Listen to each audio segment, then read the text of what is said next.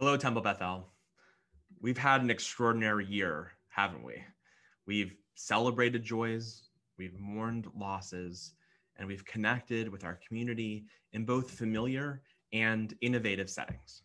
And as we welcome 5782 on Rosh Hashanah and Yom Kippur, our commitment is to being together as safely as possible as a community.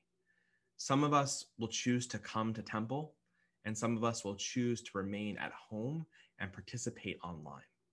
And wherever we are, we will be together, united by the timeless messages of the season of hope, of healing, of gratitude, a desire for the better world, for an openness to growth and sweetness that is possible in our own lives.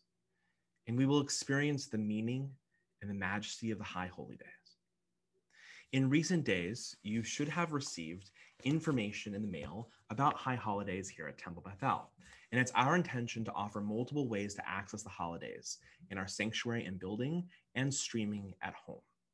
So here's what we need from you go to our website and register for services to tell us if you're coming in person and you need parking, or if you're going to be streaming at home and you need information about all of the services, all the service times that are on the website or in our packet there's lots of opportunities for personal and family reflection.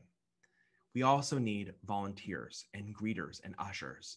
And you can let us know if you're willing to do that on also our websites. So go to www.templebethel.org or to the gateway, tbecltgateway.com, and you can find all the information.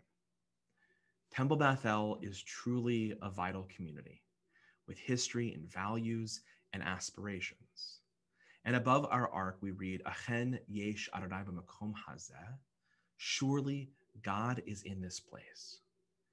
These words inspire us to look for the divine wherever we are, whether it is here in our sanctuary or in our homes.